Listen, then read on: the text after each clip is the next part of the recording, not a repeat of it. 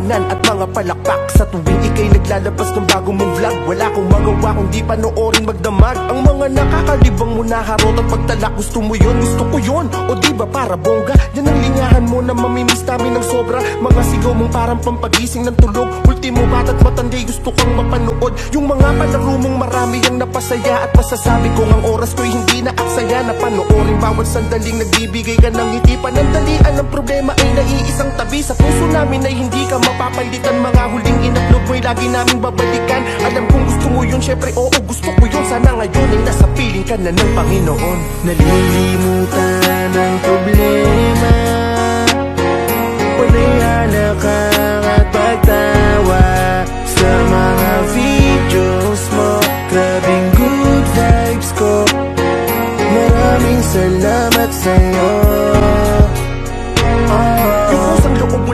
pagtulong sa nangangailangan? Pagtulong sa kapwa na may kasamang kasiyahan Ang naging daan upang sa amin ikay mapalapit. Isa ang tunay na kaibigang napakabait. Yung mga batang binigyan mo ng gamit sa eskwela Tiyak na habang panahon ikay maaalala. Mga kapitbahay na sa'yo'y sobrang napamahal. Ngayon ay naglulok at ikaw ay pinagdarasal. Lahat ng mga vlogger, youtuber ay nagluluksa ngayon. Dahil umano ang isa sa aming mga pundasyon Ikay aming inspirasyon upang mas pag-igihan At magkikita rin tayo sa dulo ng hangganan Dito sa puso namin ay di mapapalitan. Mga huling mo, lagi namin babalikan. Alam kong gusto mo yun, oo syempre gusto ko yun. Sana ngayon ay nasa piling ka na ng Panginoon.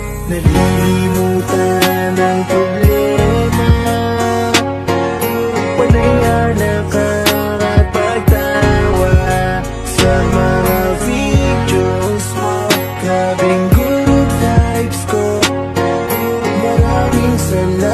sa'yo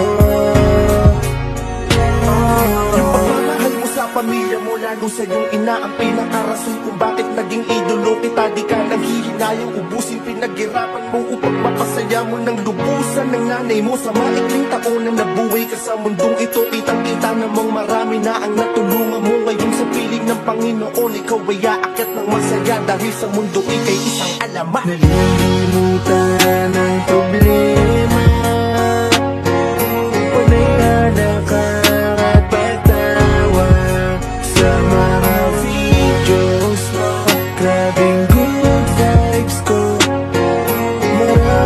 salamat sa'yo. Nalilimutan ang problema.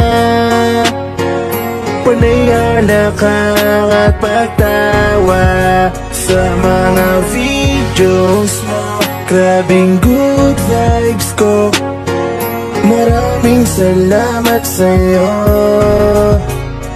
Oh.